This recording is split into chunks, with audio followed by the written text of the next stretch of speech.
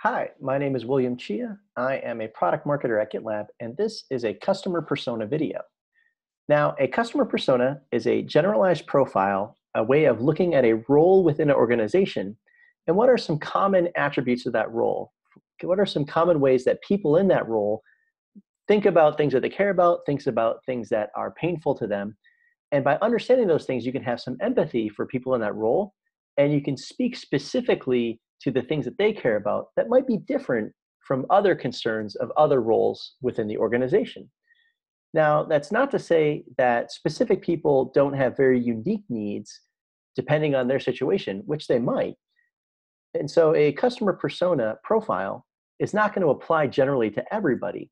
But in general, in most cases, in most organizations, a customer persona is going to give you an idea of what those types of people tend to care about. This is a video about the head of IT.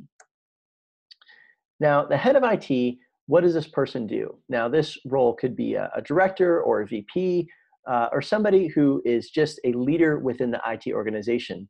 What do these people tend to be responsible for and care about? This is somebody who tends to validate recommended solutions.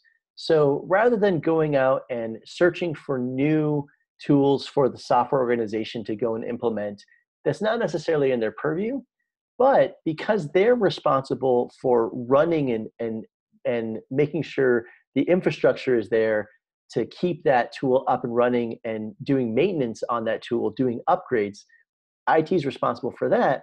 So they're an influencer and somebody who cares a lot about what developers and operators are using within the organization because they have to support it. They are potentially responsible for budget. So sometimes they uh, would be under the, the CIO, or sometimes they're in the ops or the COO. But in, in generally, the, uh, the IT may recommend budget up, or the head of IT just may be responsible for the tool's budget and maybe the owner of that budget. They are going to support a technical infrastructure that's used in the day-to-day businesses, day-to-day affairs of the business. And their goal is to deliver software interfaces that are robust, predictable, and available to all employees. So in a sense, they're providing tools as a service to their organizations. Uh, a, a, lot of IT organizations, and in particular the head of IT, is going to think about the people in their organization as their customers.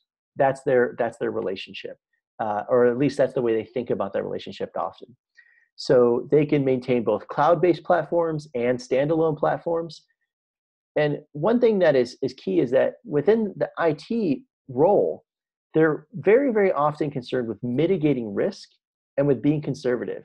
So in difference to other roles that may be more concerned with innovation and driving things forward, this is not necessarily what IT cares about. IT is going to care more that things are stable and that they're working and that uh, people are being serviced and that things are up. When things are down, that's bad for IT. So they're not necessarily always concerned with being on the latest and greatest and much more concerned with uh, mitigating risk and keeping things stable and running. In some companies, they may maintain the tools themselves. So the IT organization is responsible for installing, upgrading, and, and running that software, making it available to others. In other organizations or in other scenarios, they're more than happy to hand that off to the engineering org to run and operate themselves.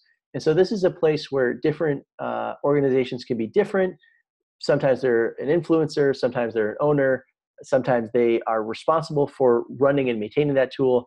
Other times they'll hand that off to a particular team or organization. In, in most cases, the IT organization is going to be very pragmatic. So they want to know what are the what are the resources required? What's the project timeline? What's the budget? Uh, caring less about what are the what are the shiny whistles or the new functionality that i can do uh, they they want to know the details. And then they're also going to want to understand about the product roadmap. So there is a mentality a buy and hold so to speak. They want to have a tool they want to adopt it they want to have broad adoption across the organization and they're not they're not going to want to change that for a while that's a that's a lengthy process the more disparate tools there are the more things they have to support so they are concerned that the technologies that they're using and the tools that they implement have robust organizations behind them. They're going to be around for a long time and have robust roadmaps. That, that's something that they care about so that they look at the tools roadmap so they know it's going to support their own their own organization. So what are the drivers? What are the things that these folks care about? So they're not typically uh, involved in driving an entire overall process. They're usually concerned about the component which is providing those services to the, their users. In this sense, within the role of an organ, uh, an influencer in, in, in the IT buying cycle, they're concerned about preventing additional strain on, on existing resources. They don't want to implement a bunch of new stuff that the folks in their org then need to go and support. They don't want to have too much diversity in their portfolio so that then they have to support all these different tools and that causes strain on their staff. They're very, very concerned with ensuring security and keeping within budget. Uh, again, this is like mitigating risk. They want to support and service the organization. In some organizations, uh, IT, IT as a whole and IT leaders in specific can often their their the way that they're measured and judged can even be on the organization's net promoter score or essentially with the organization being the users of the the tools are the customers of IT and their support of those tools they're measured on on how happy those users are sometimes not always. In, in other organizations uh, it's not it's not that you know extreme but in most case most it leaders care about their users they want to make sure their users are supported that is their predominant concern uh, and in in many profiles they're going to care about the, what kind of strategic value am i adding to the org how am I growing skill sets within the, in the organization? And so uh, traditionally, IT is seen as a cost center. And so, you know, it's something like we need technology, so we need to pay for these tools. But often, uh, sharp IT leaders are looking for ways to say, like, how am I driving strategic value, or how is my organization driving strategic value for the business so that it's not just a cost center, but it's showing how they're uh, providing value. So, what are their challenges or their pain points? So, a huge pain point of IT leaders is shadow IT, or essentially tools being used without approval. So, different folks within the org just spinning up and running whatever they, they want to run. And this happens in, in every organization at every size. Somebody somewhere is running some shadow IT. And this can be a huge pain point on a few different levels. So, first of all, lack of visibility is also a pain point. If they don't know what's happening, then it can cause problems. Uh, I remember in particular somebody once in a company I was in spun up like their their own DNS server and put it on the network, and it brought down the whole network because somebody was was running some shadow IT and there wasn't the right you know security processes in place to shut to shut that down. Um, and so it can be something as painful as that, where a rogue user using a rogue application, just trying to get something done, but because they're doing it not approved by IT, it causes a bunch of broader problems or security vulnerabilities. It can be that severe, or it can just be the sense of people are using different things and they want it to be supported. So as long as it's working, as long as things are good and they're happy, then they don't bother IT. But as soon as there's a problem, or as soon as there's bugs, or as soon as there's you know something starts to break then they're going to go to their IT organization for support and now the IT organization has to go and support all these different tools so that can be a pain point the IT organization is going to like many personas want to balance agility with stability so they're going to want the organization to be able to move quickly but they're also going to want things stable here uh, in general most folks that are going to be in the head of IT role generally are going to care a little bit more about the stability side of that. They are going to want to maintain competence. This is a pain point. Technologies are always quickly evolving. Things are shifting so fast. It's it's very very difficult for IT leaders to make sure that their organization is always trained and always competent to support the latest technologies. So this is a key pain point managing the staff resources, not only making sure their existing staff is confident, but make sure that, that they're completely staffed and, and have enough staffing to support all of the new tools. That can be a pain point. Mitigating risk is a, is a huge concern for IT leaders. So, in particular, they want to prevent security incidents, as I kind of described earlier. With you know, shadow IT can can be a security problem, or uh, they're with with many different tools or with folks adopting tools basically licensing costs can run over budget than what was planned and so an it leader is going to be concerned with mitigating those types of risks mitigating security risks mitigating budget risks and others so what are some of the barriers or the blockers for a head of it to adopting a new technology like gitlab so first of all there could be perceived security risks so there's always a risk with adopting any new tool. And even though GitLab is extremely stable, it's extremely secure, it is a uh, it even helps to drive security. The the perceived notion that anything new has security risks, and it does. Any any uh, any new tool that's adopted needs to know how it fits into the organization so that security risk can be mitigated. But anyway, that perceived risk can be a huge blocker.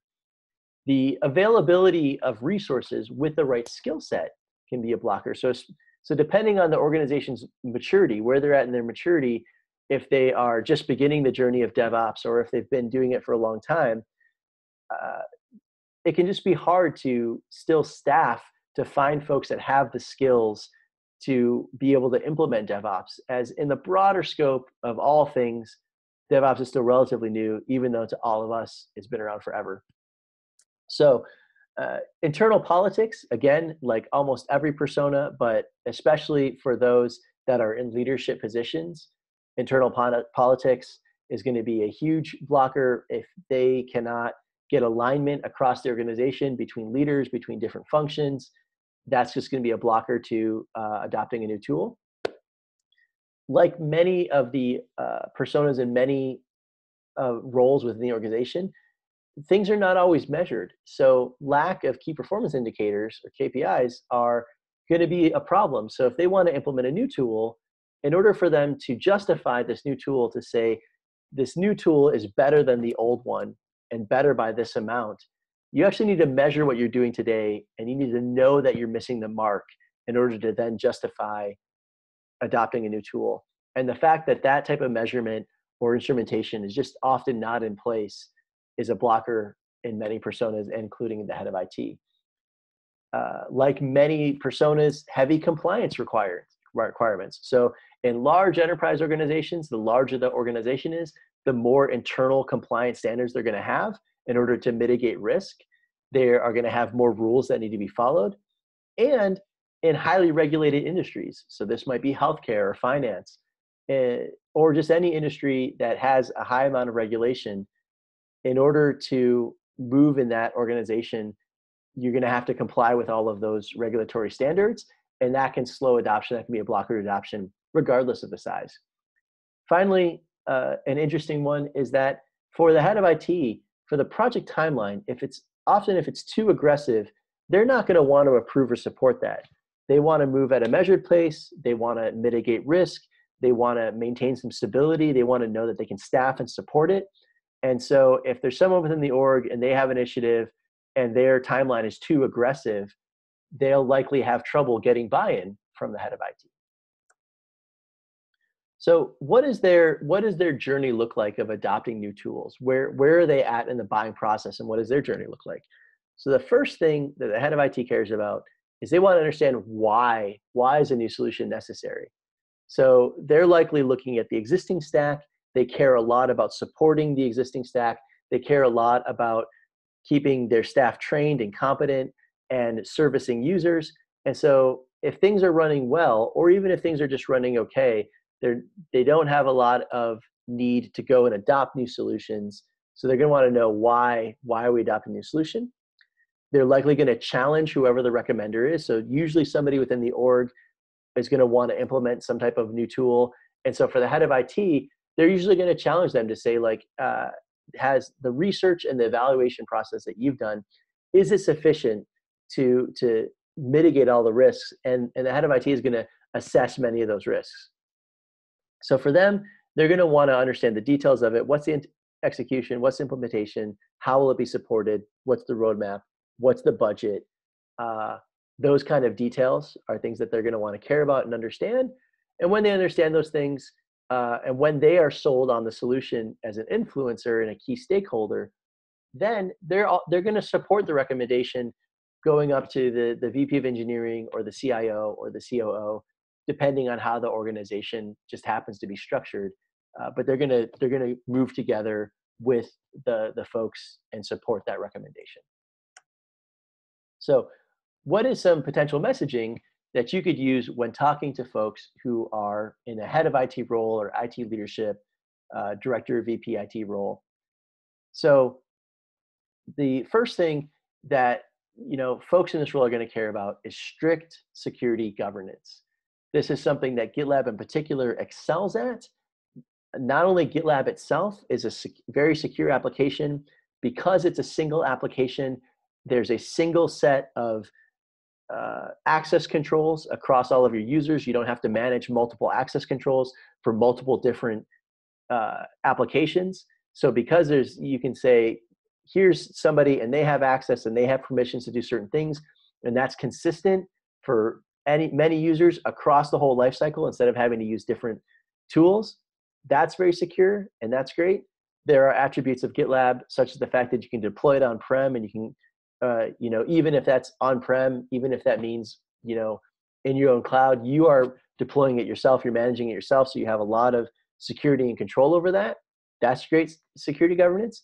But also GitLab ensures the the governance of your application security, right?